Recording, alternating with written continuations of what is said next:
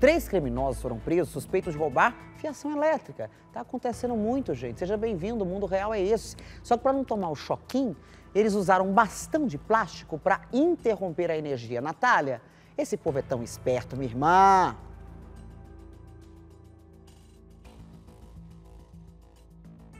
Se usassem essa esperteza para o bem, hein, Silvier? Mas não, viu? Estão ali o tempo todo maquinando coisa ruim, maquinando mal. Vamos conversar com o pessoal da Polícia Militar. Segundo o Tenente Diego Moura já está aqui. Tenente, como é que eles agiam? O que, que eles estavam fazendo? Boa noite. Boa noite. É, estavam ali perto da na altura do posto Marajó, Hidrolândia, em atitude suspeita.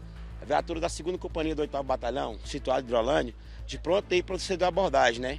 É, através de busca pessoal, busca veicular, foi achado em várias ferramentas e cerca de 100 metros de fio de cobre. E mais umas coisas relacionadas à energia.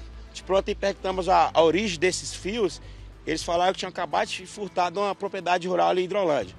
A gente deslocou até esse, esse local, chegamos lá, viemos um transformador no chão e retirar desses fios, tanto do padrão até do poste, como da, do, do padrão até para dentro da, da da propriedade rural. Até o transformador eles conseguiam tirar do poste? Sim, se indivíduos usavam o tal de bastião, eles desligavam essa energia lá em cima e com essas ferramentas sofisticadas conseguiam estar derrubando esse, esse transformador e retiravam de dentro esses fios de cobre e além disso ainda furtava é, os fios dentro da propriedade e da, do, do padrão para o poste. A gente via muito, tenente, isso acontecer antigamente, né? Os criminosos iam ali, roubavam esses fios para poder revender esse cobre, muitas vezes para trocar por droga. Por um tempo deu uma parada nesse tipo de crime, agora a gente está começando a ver isso acontecer de novo.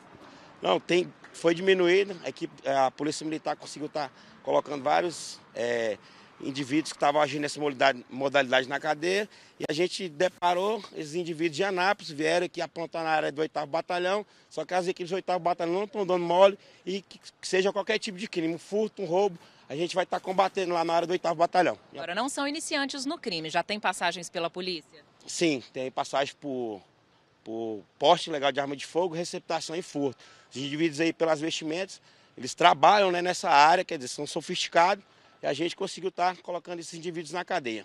Excelente, parabéns pelo trabalho. Ô Silvia, sabe como é que é o nome daquela haste lá que o pessoal usa para descer o negócio, né? O transformador, mexer lá no fio. É Bastião que chama. É Bastião, né? Bastião. Olha só, né? A Natália também é cultura. Obrigada, Tenente, pela sua participação. Ao seu companheiro aí também de farda.